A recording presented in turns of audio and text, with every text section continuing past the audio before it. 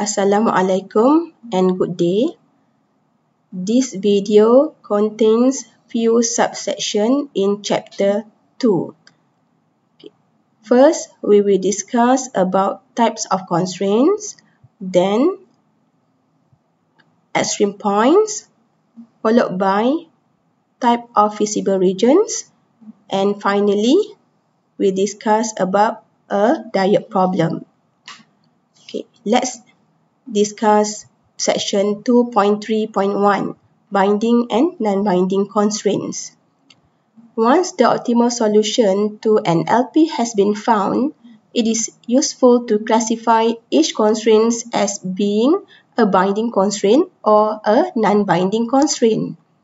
A constraint is binding if the left hand side and the right hand side of the constraints are equal when the optimal values of the decision variables are substituted into the constraint.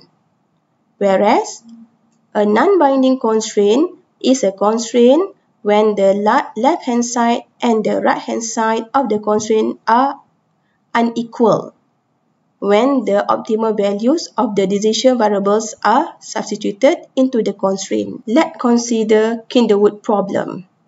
When we substitute the optimal solution of the problem where x1 is 20 and x2 is 60, we found that the left-hand side of the first constraint is equal to the right-hand side of the constraint. Same goes to constraint 2.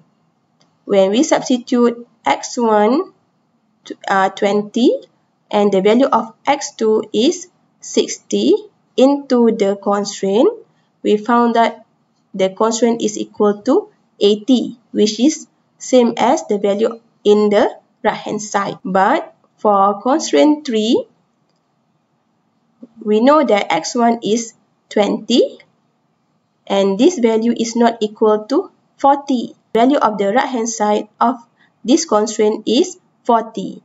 20 is not equal to 40.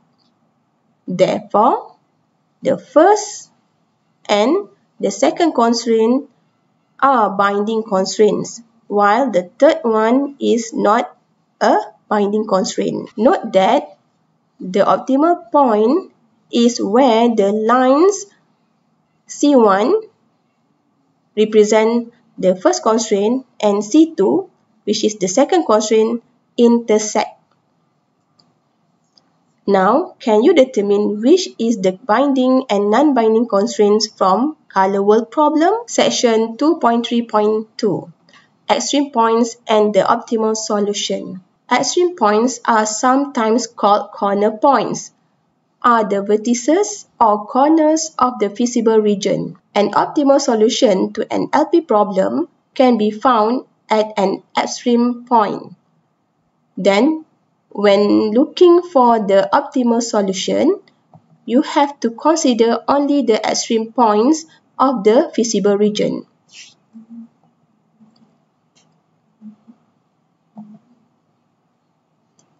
For the Kinderwood problem, we see that the extreme points of the feasible region are simply points 1, 2, 3, 4 and 5.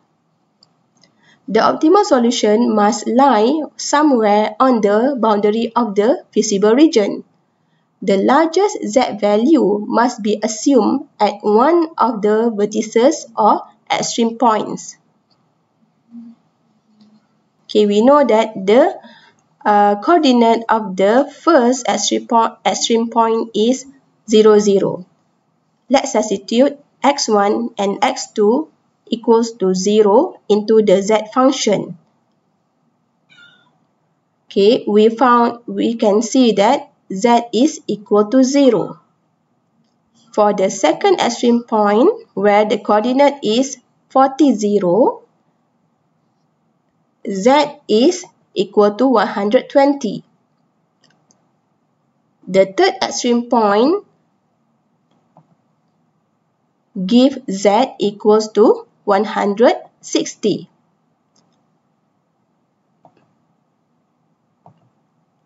We obtain Z equal to 180 and Z equals to 160 from the fourth and fifth extreme points respectively. This shows that point 2060 is the optimal point since it gives the maximum Z. Now, determine the extreme points for the color world problem, then find the optimal solution from the points. Section 2.3.3 The Kinderwood and Color World problems each had a unique optimal solution. However, some of LP problems do not have unique optimal solutions.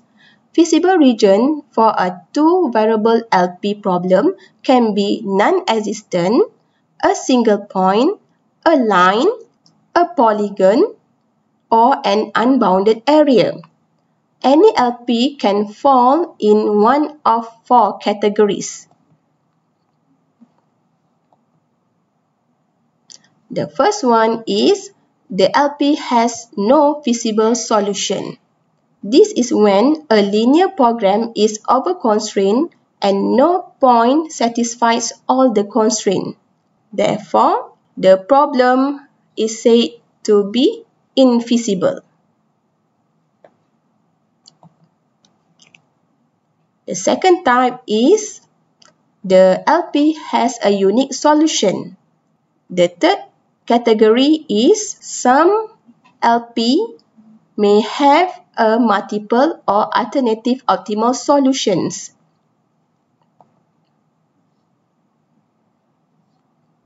In the graphical method, if the objective function line is parallel to a boundary constraint in the direction of optimization, there are alternate optimal solutions, with all points on this line segment being optimal.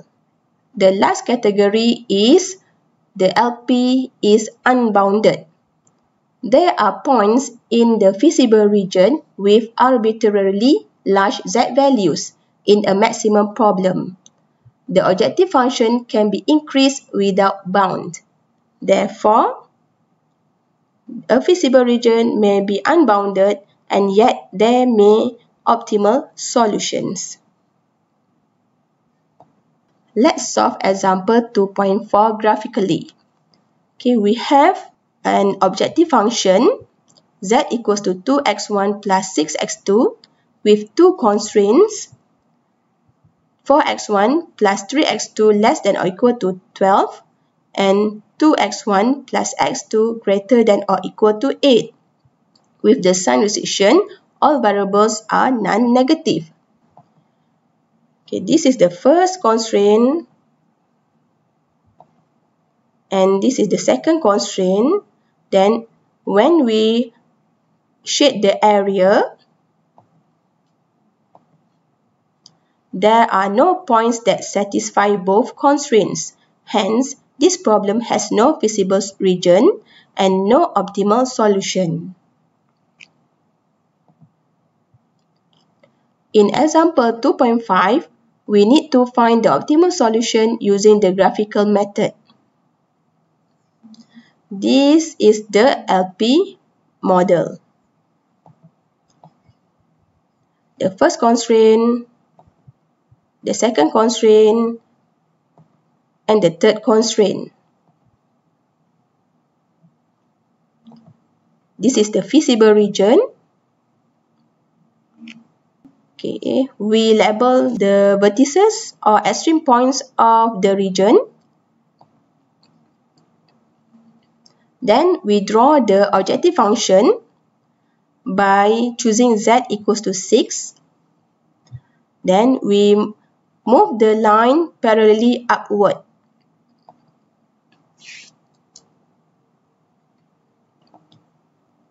We find that the last point in the feasible region to intersect an isoprofit line is the entire line segment CD. This means that any point on the line segment CD is optimal. It clearly shows that point C, the coordinate is 4, 3 and point D with coordinate 2, 6 are the optimal solution to this problem. The third solution can be obtained from the midpoint of the line segment.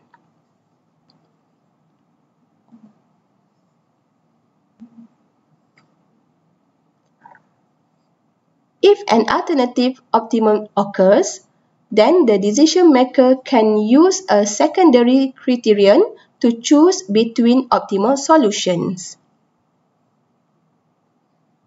Now let's move to example 2.6. We draw the first constraint, then the second constraint,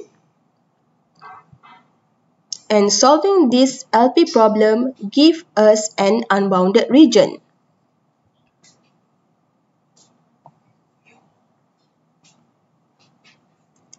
This is the profit line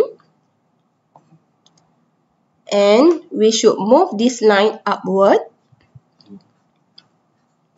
and we can see that the objective function line can be moved parallel to itself without bound so that z can be increased infinitely. We can say that an unbounded optimal solution should not occur in a correctly formulated LP. Now we move to the last section in this chapter. 2.4 A Diet Problem A diet problem arises from situations in which a decision maker wants to minimize the cost of meeting a set of requirements. Here we have Fazura's diet problem where she requires that all the food she eats come from the four basic food groups. At present, the following four foods are available for consumption. Plain rice, fried chicken, salad and lime juice. A plate of rice costs 1 ringgit. A piece of fried chicken costs 3 ringgit.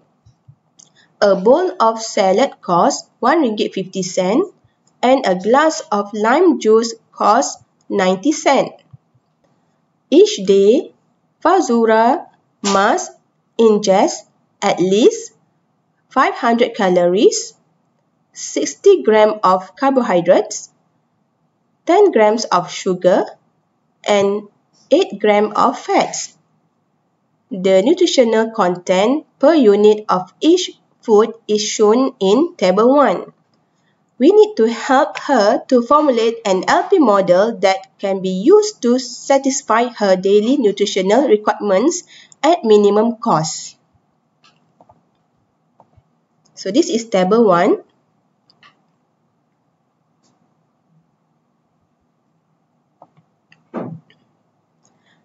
As always, we begin by determining the decisions that must be made by Fazura.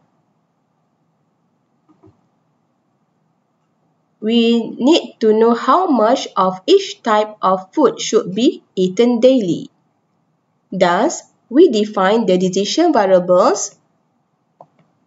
X1 is the number of plate of rice eaten daily. X2 will be the number of pieces of chicken eaten daily. X3 is the number of bowl of salad. And X4 is the number of glass of lime juice.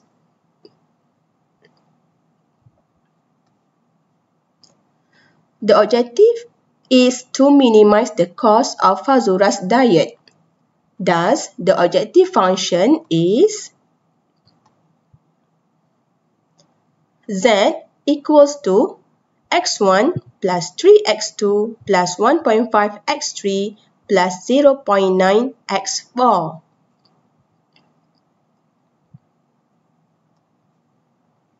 The decision variables must satisfy the following four constraints. The first constraint is daily calories intake at least 500 calories. Okay, from table 1, we know that 400 calories come from plain rice, 500 calories from a piece of chicken, 200 calories from a salad, a bowl of salad, and 150 calories from a glass of lime juice. And she need to make sure the total of calories must, must, must more than 500 calories.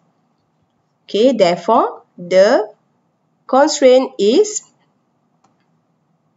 400x1 plus 500x2 plus 200x3 plus 150x4 greater than or equal to 500.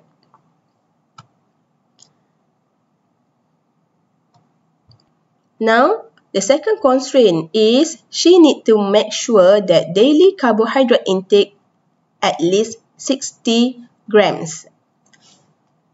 From this table, we know that the information in the second column give us the about the carbohydrate of each food. Therefore, the function of the second constraint is 35x1 plus 12x2 plus 8x3 greater than or equal to 60. Okay, the third constraint is about the sugar intake she must take at least 10 grams per day. The function of this constraint is 2x1 plus 4x2 plus 2x3 plus 4x4 greater than or equal to 10. And the last constraint is the daily fat intake and it must be at least 8 grams. The constraint is 2x1 plus 5x2 plus 4x3 plus x4 greater than or equal to 8.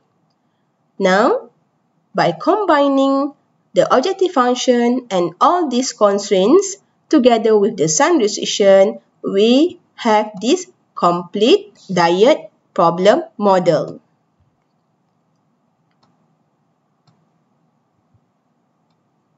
However, we can't solve this problem by using the graphical method since this problem involves more than two variables. We can solve this problem by using the simplex method. That's all for now. Thank you.